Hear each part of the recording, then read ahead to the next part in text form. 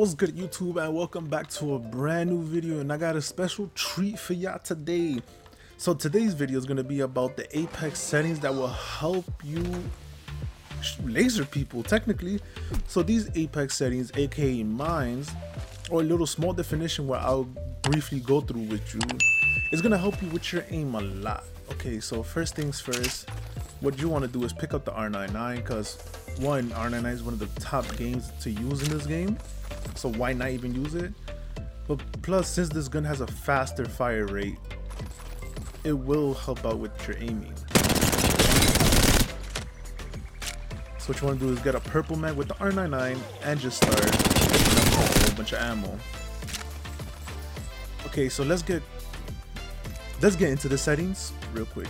So first things first, when you go to your settings and control, trigger dead zone, first thing you want to do is have it on none. The reason why, it determines how sensitive your triggers are when you press them. So the lightly you press it, the faster it shoots. Basically, it's a sensitivity of the reaction time of when to shoot. So if you wanna, if you're in a 1v1 situation, you wanna have this on none because if you press on the trigger faster, your guy will shoot before. So the next thing we want to go to is advanced look control. So you want to click on that and turn it on. So we're to start out with the first one, which is dead zone. So this is the sensitivity for your analog stick determines how quick it will respond the way you move it.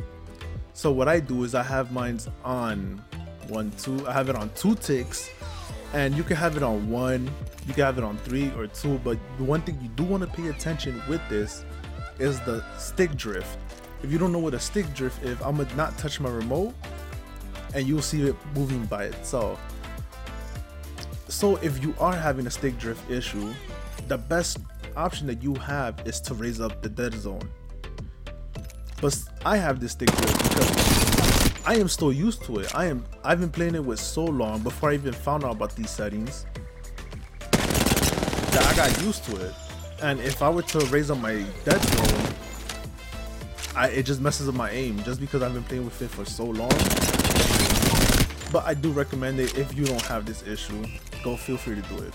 Outer threshold, I don't touch. Response curve, I lowered it down just because I don't know. To be honest, like it says here, the lower the value, it can feel twitchy. The higher the value, it can feel though. For some reason, a little bit more lower than the default what it had for me felt more smooth for me so i just stuck with it now this is what we all came here for, the yaw speed.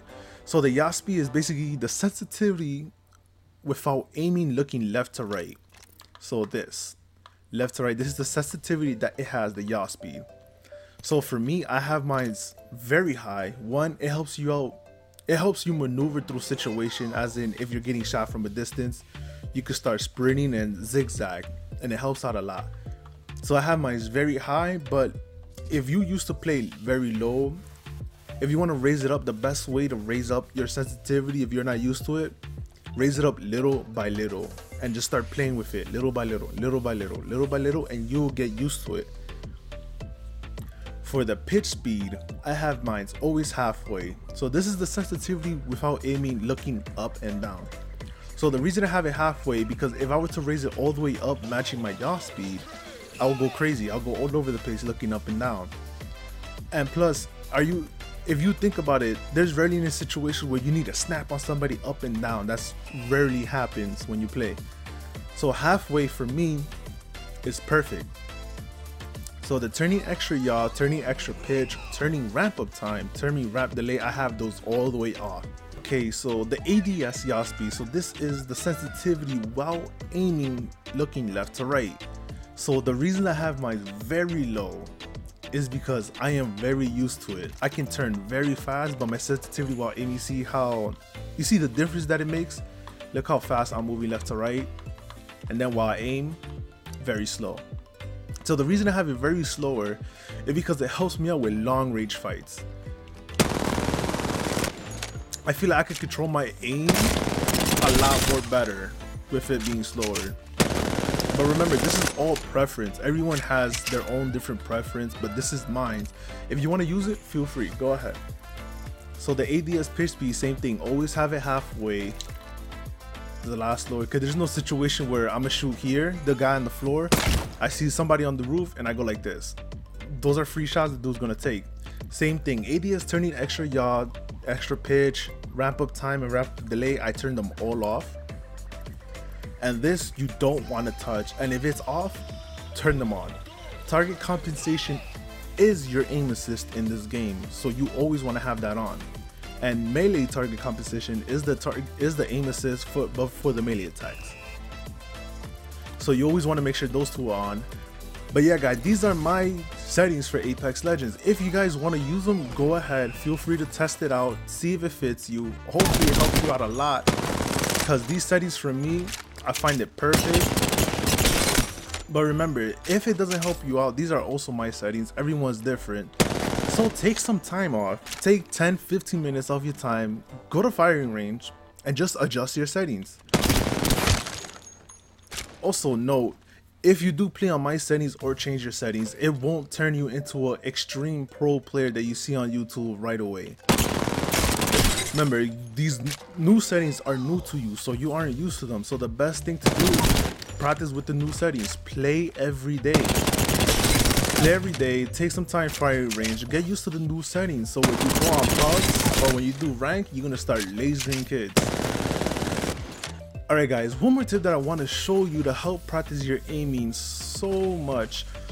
This is what I do every single day for 10 to 15 minutes. I if you want to practice your aiming and get it better, I recommend doing this because it helped me out so much. So you want to do is get an R99 purple mag, get a golden backpack, and pick up as much ammo as you can because we're gonna need it. Once you've acquired all of that, you will head right behind these grenades, right here where this dirt is, this is where you want to stay you're gonna shoot and focus on this target and this target. The reason why back here in the real fight you're gonna shoot most likely you're gonna encounter somebody at this range. If you see them. So you're gonna practice your aim and also one more thing while you're shooting strafe. Practice your strafing because strafing helps you out so much in a 1v1 so once you waste one clip on this dude, spend the other clip on this moving target.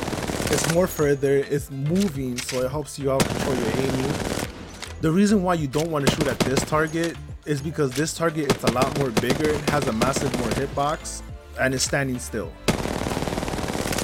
And that's an easy 200 damage right there, but nobody's gonna have that massive hitbox who's gonna be standing still like that, other than the crypto. So you want to practice on this target, reload, practice on this target, reload, then practice on this same target, reload. You want to do that back and forth. And oh, remember, always strafe. Strafing always helps you out. And one more tip also to help out, crouch. While shooting crouch. When you're in a 1v1, let's say medium to long range, crouching helps you out a lot because most of the time they're aiming for your chest and your head. So if you're crouching, it throws them off they have to readjust and aim down and the minute you crouch back up they gotta readjust and aim up. So doing that mid-fight is gonna help you out a lot. It's something not to do right away because it's a little bit when you do it right away without doing it before it throws you off. So i do recommend practicing it. Alright guys, these are my settings for Apex If this video helped you out, smash that like button. Comment down below what is your favorite weapon to use during the game. If you guys want to see more content, more challenges that I will be doing, subscribe bro. It's free, join the dynasty and hit the subscribe button. Let's share it to your friends. One more thing, I will also be doing a giveaway.